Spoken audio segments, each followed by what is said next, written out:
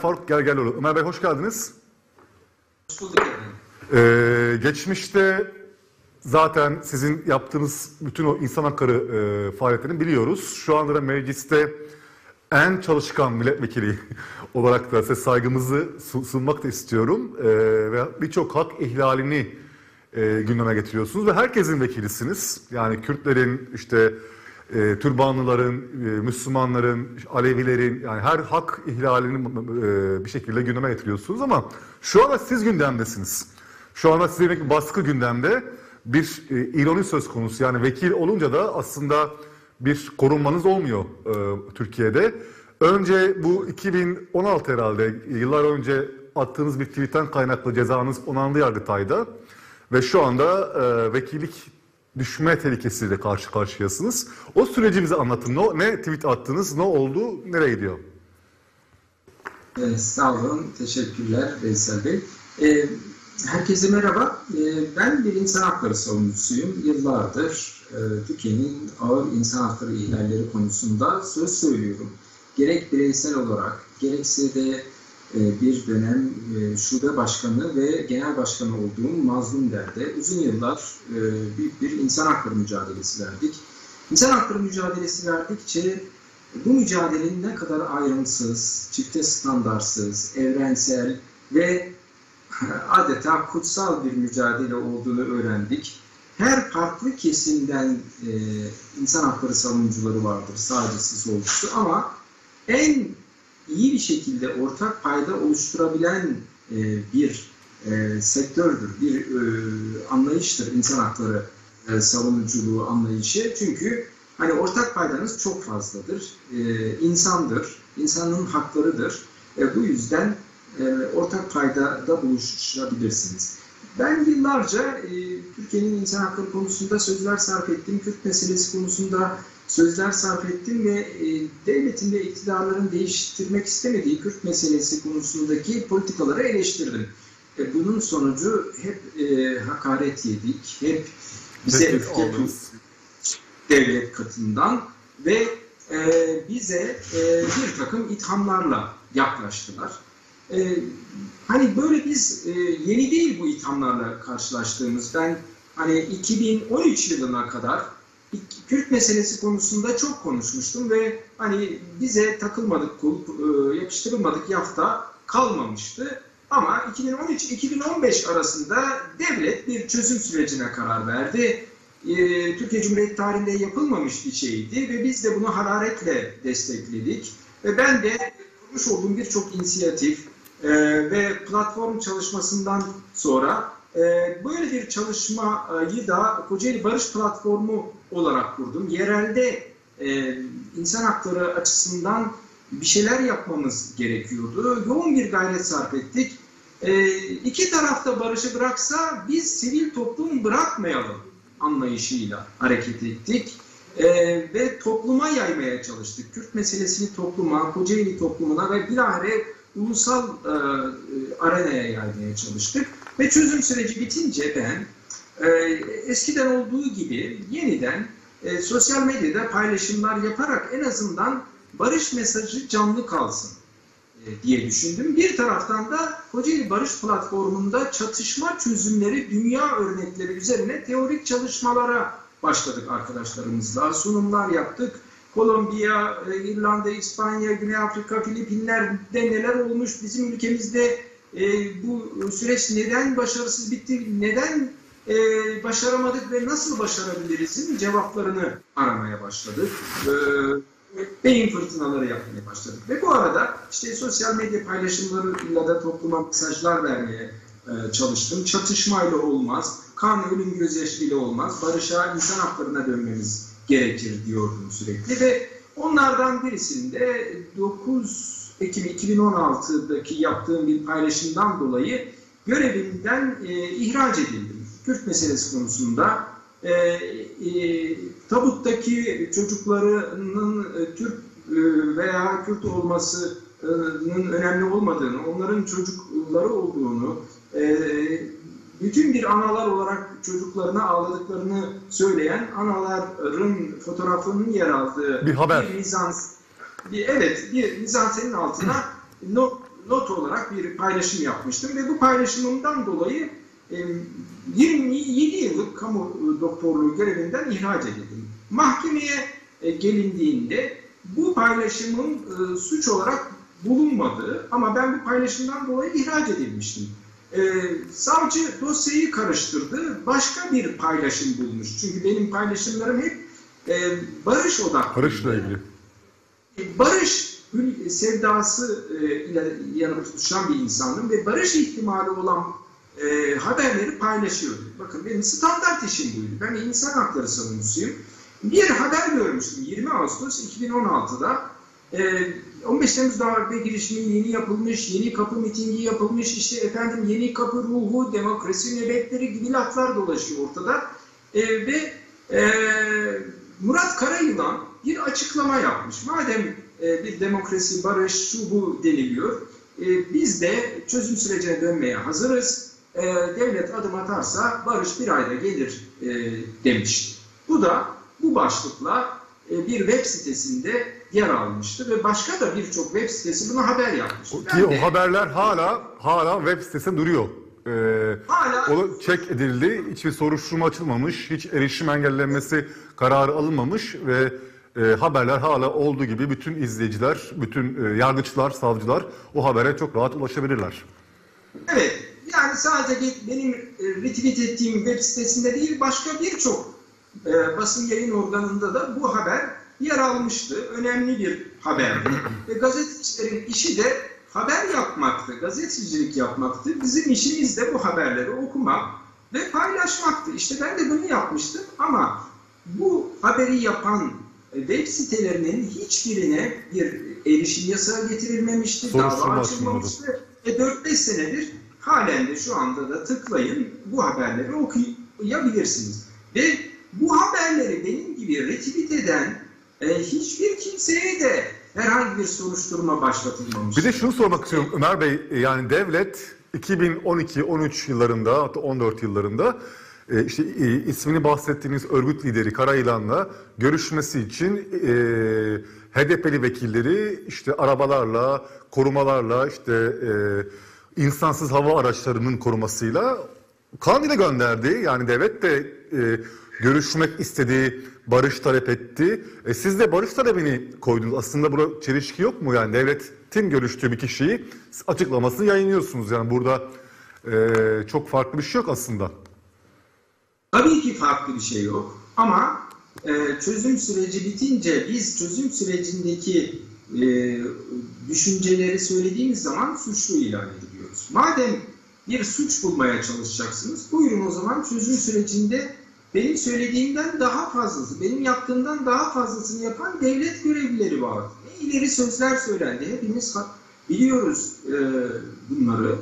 E, ama onlar hakkında herhangi bir soruşturma yok. Onlar çözüm sürecini bitirdiği için eski çözüm sürecindeki sözlerin bir benzeri çözüm süreci sonrası söylenmiş ve bunları ben sadece retweet etmişim, RT'leyip paylaşmışım diye ben suçlu oluyorum. Günah keçisi ben oluyorum. Bu akla, mantığa, hukuka, evrensel ahlaka sığacak bir durum değil. Hani Peki- ben Lafınızı bölün. Peki Yargıtay'ın e, normalde bu tür tutuksuz işlerde Yargıtay yıllarca çalışır, yıllarca beklersiniz bir kararı. Siz daha iyi bilirsiniz bir hak savunucusu olarak. Geçmişte yargının nasıl yavaş işlediğini e, şahidisiniz. Sizde biraz hızlı mı işledi yani biraz e, sizin fazla e, hükümeti sıkıştırmanız, hak ihlallerini gündeme getirmeniz, çıplak arama mevzusu özellikle e, çok bence önemli bir kıstas. Biraz hızlı mı işledi size yargı? Kesinlikle hızlı oldu. E, Bakın yerelde bu ceza verildiğinde ben hani gözlerime kulaklarıma inanamadım. Çünkü hani hukukçu değilim ama insan hakları savunucusuyum. Hayatım bu tür dosyaları incelemekle gelişmiş. Hani yeni bir skandalla karşı karşıya olduğumu gördüm ama hani talimatla verilmiş bir karardır. Ne yapalım? İstinaf bozar, Allah kerimdir diye düşündük safça ve istinafta da sanırım dosya bile okunmadı ve böyle ezbere bir şeyler yazılmış, onaylandı. Yargıtay'da efendim e, herhalde bir hakimler vardır, e, tetkik ederler, bu saçmalık orada biter herhalde diye düşünüyordum. Hatta şöyle bir cüm, iddialı bir cümle sarf etmiştim yerelden sonra. Yani ülkede hukukun zerresi varsa istinafta bozulur demiştim. Evet. Bir cümleydi. E, Demek ki o zerre de yokmuş. Yani, e, yani Türkiye'yi bildiğimiz halde ya bu herhalde bu da olmaz diye düşünmüştüm. Ve istinaftan Yargıtay'a e, gittiği gibi Veysel Bey bir ay içinde Yargıtay Cumhuriyet Başsavcısının ceza istediğini gördüm. Mütevarası geldi. Görüşü geldi. Çok hareket etmiş ve o, o da ceza istemiş ve aradan bir yıl geçti. Benim e, cezam onandı. Ömer Bey benim hani ben- 2012'de, 2011'de yaptığım başvurulara hala henüz Yargıtay'dan e, bir e, gelişme, bir cevap yok. Size yargı gerçekten hızlı işlemiş, öyle görünüyor. Evet, e, ya bakın e, vekil arkadaşlarımdan aynı dönem Yargıtay'a dosyası gelen arkadaşlarımız var. Hepsinin e, dosyası arşivde ama benimki sonuçlanmış durumda. Peki Belli ki Lafınızı bölüyorum da mesela şimdi Anayasa Mahkemesi'nin bu hafta e, yine bir başvuru kararı vardı. Bu TCK 216 ile ilgili. İşte terör örgütü propagandası ile ilgili Anayasa Mahkemesi'nin verdiği kararlar var. Daha taze kararlar, yeni çiçeği burnunda kararlar. Avrupa İnsan Hakları Mahkemesi'nin birçok kararı var artık yani Türkiye ile ilgili bir e, binlerce sayfalık iştahat kitap basabası basabilirsiniz. Bu bile bile bile bile bunları bile bile hakimlerin neden e, bir onamayı yaptılar sizce? Yani politik bir motivasyon var arka planda? E, ne diyorsunuz? Ne düşünüyorsunuz? Tabii. Efendim, e, benim politik hayatımı incelerseniz aktif bir hayat içinde olduğunu görürsünüz. Politikadan önce de ben aktif bir şekilde insan hakları aktivistiydim. E, Medyada yazıyordum, çiziyordum. E, siyaset alanında da her geçen gün çıtayı yükselttim.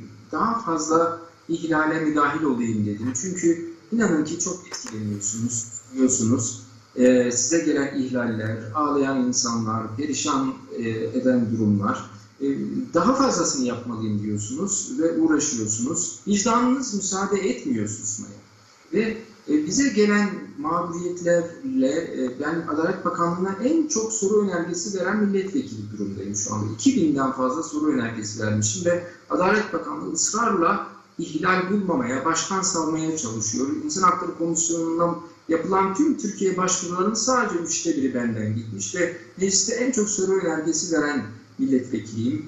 Tüm bakanlıkları e, hak talebiyle rahatsız ediyorum. Meclis başkanlığına verdiğim işkence e, iddiaları içerikli araştırma önergeleri kaba ve yaralayıcı ifadeler var denilerek reddediliyor. İnsan kaçırmalarla ilgili soru önergelerime ısrarla cevap verilmiyor. E, bak, cevap yerine İçişleri Bakanı bana ağız dolusu hakaret küfürlerle e, dönüyor.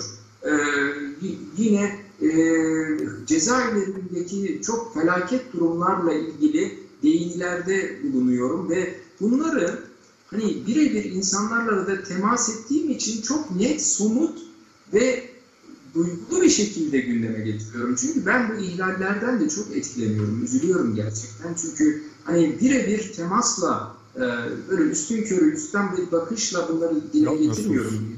Birebir insana temas ederek bunları yaptığım için hani yani kalpten çıkan kalbe gider derler Veysel Bey. Ger- Gerçekten öyle de oluyor sanırım karşıda bir iz bırakıyor. Şimdi mesela çıplak arama meselesi beni çok etkilemişti. Çünkü o genç kızların çok utanç dolu anlarını, hallerini, gözyaşlarını, e, öfkelerini Ama sizin sayenizde Ömer Bey e, şu an tüm Türkiye çıplak aramayı konuşuyor. E, en son AK Parti sözcüsü ve ve- vekili Özlem Zengin'in işte e, çıplak aramaya maruz kaldım diyen kadınlara hakaretvari bir e, cümlesi vardı. Bunlar hep sizin e, biraz ittiğiniz olaylar ve hala haftalardır biz çıplak aramayı konuşuyoruz. Bu da bir aslında başarılı olduğunuzu gösteriyor. Tabii.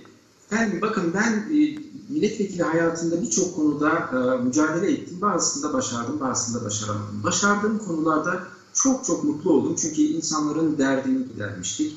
Çıplak arama konusu da zor bir konuydu.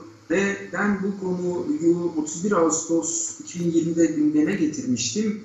E, bana e, böyle tamamen alıştığımız bir devlet üslubuyla öyle bir şey yapılmamıştır gibi bir yalanlamayla cevap verilecek soru önergelerimiz cevapsız kalmıştı. Ama ard arda çıplak arama olayları geliyordu ve her farklı kesimden geliyordu. Ben 9 Aralık 2020 günü e, bütçe görüşmelerinde bir konuşma yaptım ve konuşmamın 10 dakikalık bir konuşmamın 20 saniyesinde çıplak aramadan bahsettim ama tüm kalbimle bahsettim, tüm öfkemle bahsettim, tüm üzüntümle bahsettim ve inanın ki o kadar karşılık buldu ki o 20 saniyelik video yüz binlerce kez İnsan izlendi izledi. ve Evet. e, evet, ve bana genç kadınlar, erkekler e, geri döndü ve hocam bildiğin gibi değil, çok vakalar var, yıllardır söyleyemediğimizi sana söyleyelim, bizi cesaretlendirdin, teşekkür ederiz, ağlıyoruz bunu yazarken ellerimiz titriyor diyorlardı ve e, daha ardından sözlü, yazılı ve daha sonra videolarla insanlar bunları itiraf ediyordu. Biz bunları yaşadık, anlatamadık, çok üzgünüz, öfkeliyiz, bize yaşatmasınlar, başkası yaşamasın en azından diyordu ve iktidar öfkeyle bunları yaşa, e, yalanlamaya çalışıyordu. Tüm AK Parti'nin grup başkan vekilleri Özlem Zengin başta olmak üzere bana hakaretler, terörist demeler, ithamlar, e, küfürler, e, Evet. inanılmaz Peki ben şunu soracağım size. Size şimdi terörist diyen bir iktidar bloğu var. Bakanından işte vekiline kadar sizi e, terörize eden, kriminalize eden bir dil var. E, bu dilin olduğu bir ülkede yargının nasıl bir karar vermesini bekliyorsunuz? Yani çünkü yargı bağımsızlığı konusunda şüphelerimiz artık kanaate e, varmış va- vaziyette. Yani artık yargı bağımsızlığı konusunda Türkiye'de e, soru işareti yok. Bir gerçeklik var, yargı bağımsız değil. E, bu kadar e, yoğun saldırı altında ne bekliyordunuz yani?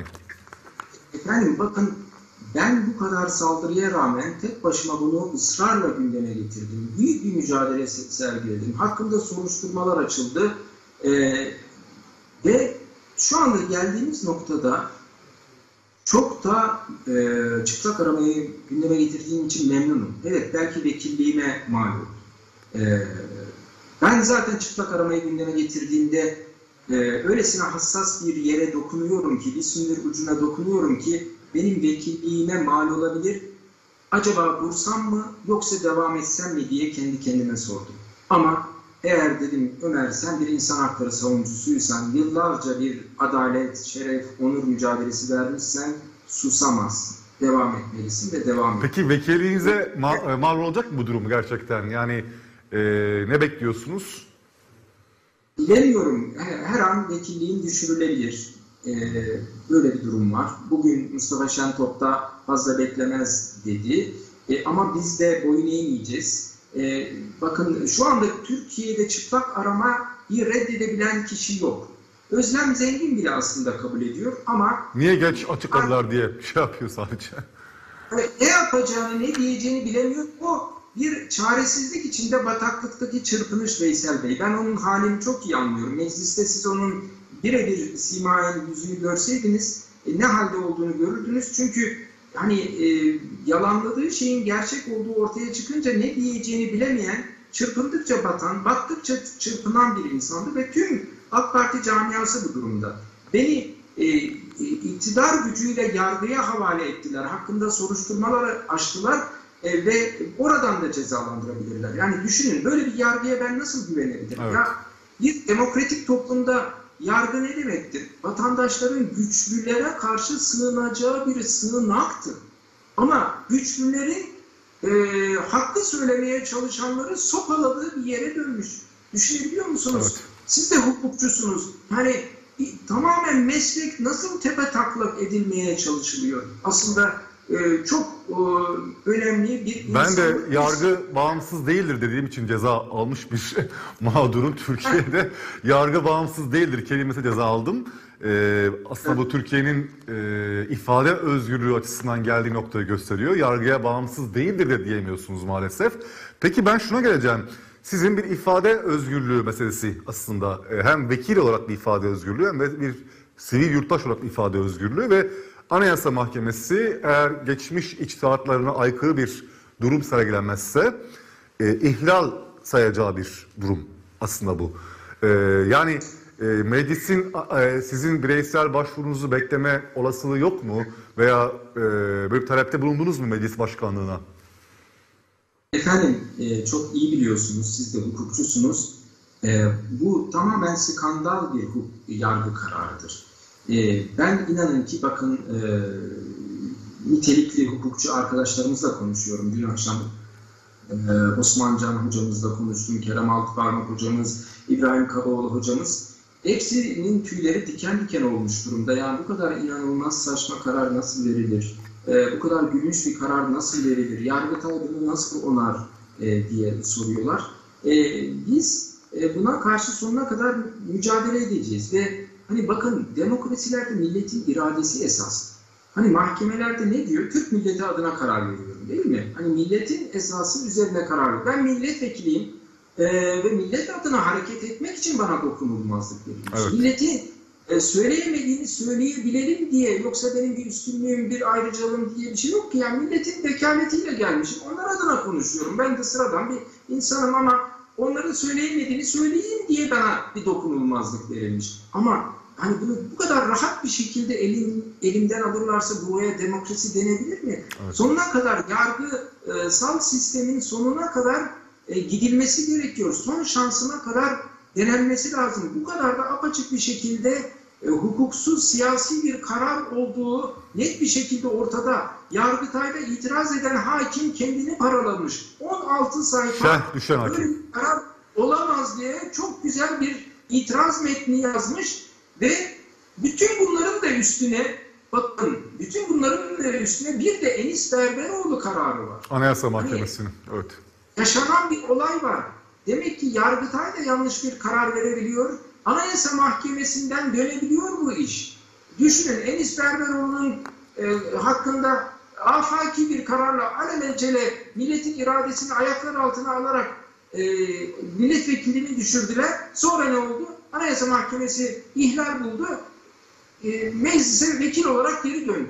Ya bu yargı e, hani çocuk oyuncağı bir yer mi? Meclis çocuk oyuncağı bir Peki yer Anayasa mi? Mahkemesi'nin, meclis- siz HDP vekilisiniz nihayetinde Ee, ve HDP'li vekiller var tutuklu şu an cezaevinde ve Anayasa Mahkemesi'nin bazı kararlarında biraz eşit davranmadığını da e, görüyoruz maalesef. E, yani Enis Berberoğlu'yla diğer HDP'li vekiller arasında bir ayrım yaptığını en azından ben kişisel olarak görüyorum. Sizin böyle bir çekinceniz var mı? Anayasa Mahkemesi size bir ayrım yapma olasılığı var mı? E, efendim tabii ki yapmamalı. Ülkede en son güveneceğimiz yer, en üst mahkeme, anayasa mahkemesi ve en son insanların adalet talebiyle gittiği bir yer. E, Enis Berberoğlu kararı apaçık ortada. Benim kararımdaki hukuksuzluk çok net. Yani bir ritikten hem ben hem de milletin sırtı yere getirilmeye, diskalifiye edilmeye çalışıyor. Ama şunu söyleyeyim, yani bakın bir CHP milletvekiliğine yapılan Sayın Enes, Enis Berberoğlu da çok zulümler çekti, çok haksızlıklar gördü. Ee, evet e, ama en son oradan döndü ve biz de çok sevindik. Gerçekten e, sonunda döndü, e, büyük mutluluk duyduk. Ama e, mesela HDP vekiline sırf e, devletimizin alerjisinden dolayı farklı bir muamele yapılacak olursa ki bu çok tehlikeli bir durum. O zaman çok hukuk, üzücü hukuk bir- önünde eşitlik ilkesi de yer, hani yerle bir olmuş olur. Tabii bakın bu ülkede zaten Kürt meselesi hani askeri yöntemlerle halledilemiyor ve Kür- Kürt'ün bilinçaltı e, çok e, yaralı, e, çok hüzünlü. Hani şu anda koca bir e, Kürt halkı benim yargılamama bakıyor? Enis Berberoğlu'na bir taraftan bakıyor, bir de Gergerlioğlu ne olacak diye bakıyor. Yani toplumsal pay haklarında yeni bir kıra e, mahal vermemeli Anayasa Mahkemesi. Çok net. Aslında Türkiye Büyük Millet Meclisi de bunu sağlamalı. Meclis Başkanlığı şunu bilmeli ki bizim bulunduğumuz bu kurumun adı Türkiye Büyük Devlet Meclisi değil. Türkiye Büyük Millet Meclisi. Aslında yargı millet mecliste gasp ediyor. Yargının bu tavrı e, sadece sizin ifade özgürlüğünüz değil, e, meclisin yasama yetkisini, işte seçmenlerin seçme hakkını da gasp eden bir karar. Öyle bakmak lazım diye düşünüyorum. Evet, gerçekten hani e, iktidarın yargıyı boyunduruğu altına almakla, yargının böyle e, inanılmaz bir kararı evirip çevirerek kullanmasıyla gelinen bir nokta var. Ama bu basit bir durum değil ki. Bakın biz siyaset alanındayız. Tamam. Evet. 2016'da bu Ömer Faruk Gergerlioğlu'na verilecek bir cezaydı. Ama şimdi ben Kocaeli'nde 90 bin oyla seçilmiş Milletvekili Ömer Faruk Gerger olma verilen ceza oldu. e, e, Evet yani e, ve sadece biliyor ki tüm Türkiye kamuoyu ben sadece Kocaeli milletvekili değilim gerçekten. Toplumun her farklı kesimini kucaklayan, kuşatan, her farklı kesiminin derdini getirdiği bir milletvekiliyim ve gerçekten bir e, barış elçiliği yapmaya çalışıyorum. Hani e, yıkıcı bir dil değil, vicdan dili kullanıyorum. AK Partililere belki çok kızgın da olsam e, onların e, yanlışını düzeltmeye, vicdana çağırıyorum. İnanın ki hep bu üslubumu korudum. Kesinlikle hakaret üslubu korumadım. Eğer ki böyle bir ayrımcılık yapılırsa bu hem Kürt halkına yönelik bir e, ayrımcılık, toplumsal pay hatlarında kırılma e, ve büyük bir hayal kırıklığına Sebep olur. olacaktır. Peki size yapılan bu çok kara bir şekilde geçer. Evet, size yapılan bu e, hukuksal taciz, aynı zamanda sözlü taciz yeni bir konseptin parçası mı yani HDP yönelik yani e, bu sizle beraber bundan sonra birçok vekilin vekilin düşmesini veya hapse girmesini veya ceza almasını bekleyelim mi? E, bu konseptin bir parçası mı sizce? Ee, efendim e, maalesef ki sadece bize değil, Kürt meselesini gündeme getiren, hak ihlallerini gündeme getiren herkese yönelik bir hamle var. Ben bir insan hakları savunucusu olarak hani dediğim gibi Kürt meselesini de çok yoğun gündeme getirdim. Van'da insanlar helikopterden atıldığında gittik orada Servet Turgut'un kardeşiyle, yakınlarıyla saatlerce oturduk, dertleştik, ağlaştık. Bu konuları gündeme getirdik e, işte Türk'ün, Kürd'ün, Alevi'nin, Sünni'nin, dindarın, ateistin herkesin sorununu gündeme getirdik ama e, iktidar gözünü kan bürümüş bir şekilde e, demokratik siyaseti yok etmeye çalışıyor ve aynı zamanda HDP'ye de yönelik e, şekilde oklarını çevirmiş durumda e, ve HDP'yi siyaset sahnesinden silmek istiyor. Bir de e, Belki buyurun. kapatmanın zor olduğunu düşünüyor ama vekilleri düşürerek böyle fezlekelerle hızlandırılmış mahkeme kararlarıyla bir orak gibi biçerek e, bunu yapmaya çalışıyor. Yani şey HDP'yi kapatmıyor fiilen ama HDP içerisindeki çalışanları, vekilleri bir şekilde e, yasal gücü kullanarak e, rızapt durapt altına almaya e, çalışıyor diye anlayabiliriz. Yani- evet ben, yani e, felç ederek Evet. felç et, belki hani kapatmıyor ama felç etme taktiğiyle e, kolunun kanadını kırma taktiğiyle hareket ediyor. Evet. Ve ya- Yargıtay kararı onandığında ben sosyal medyada e, çok farklı görüşlerdeki insanlar gerçekten e, İslami hareketten işte Kürt, Kürt meselesine duyarlı olanlardan tutun da solcular, e, LGBTİ artılar işte çok farklı insanlar e, Ömer Faruk Gergerlioğlu bizim vekilimizdir diye bir kampanya başlattı. E, Sizin adınıza gurur verici e, bir şey aslında. Bu e, biraz bu işi yani size sizin vekilinizi almak isteyenlere bir cevap mıdır? E, nasıl değerlendiriyorsunuz? Çok çok etkili bir cevaptır. Ben hani ne yapmışsam e, karşılığı olarak o bana geri döndü. Ben bir insan hakları savunuculuğu yap- yaptım, ayrımcılık yapmadım. Her farklı kesimden insanın derdini koştum. Gün geldi LGBTİ artı bireylerin sorunlarını, cezaevlerinde yaşadıklarını ve o yönelimlerinin suç olarak görülmemesi gerektiğini söyledim. İşte KHK'lıların sorunlarını anlattım. Cezaevindeki her gruptan insanın uğradığı ihlale, hasta mahpuslara, hamile tutukları, Türk'ü, Kürt'ü, Alevi'yi, Sünni'yi şu anda da e, toplumun her farklı kesimi e, hayır bu büyük bir haksızlıktır, vicdanımız müsaade etmiyor diyor. İnanın ki bir HDP vekiliyim ama sadece HDP seçmeninden değil. Evet, Siz de görüyorsunuz. Türkiye kamuoyundan çok güçlü bir destek alıyorum. İnanın ki o kadar özel mesajlar geliyor. Göz yaşartıcı mesajlar geliyor ki çok samimi mesajlar geliyor. Zaten yani bize büyük moral veren o mesajlar oluyor. Çok büyük moral destek oluyor. Çünkü yani bu millete hizmet ettik ve bu millet yanımızda. İstedikleri kadar bizi işimizden alsınlar, cezaevlerine alsınlar, vekilliğimizden düşürsünler. Önemli değil. Ben bir insan olarak onuruma sahip çıktım. Ne kadar yaşayacağız ki yani daha 500 yıl mı yaşayacağız? Doğru. Belli bir yaşam var. Bu hayatta e, onurlu, şerefli bir şekilde yaşamış ve e, hayatımızı sürdürmüş oluruz. İster dışarıda, ister cezaevinde. Peki şunu soracağım. Peki, Ömer Bey, e, şimdi size yönelik saldırı aslında Türkiye Büyük Millet Meclisi yönelik bir saldırı. Yani e, bir yasama organına ve e, vekillere bir saldırı. İktidar cephesini evet anlıyoruz. E, size karşı bir e, düşmanlıkları söz konusu. E, şimdi CHP var.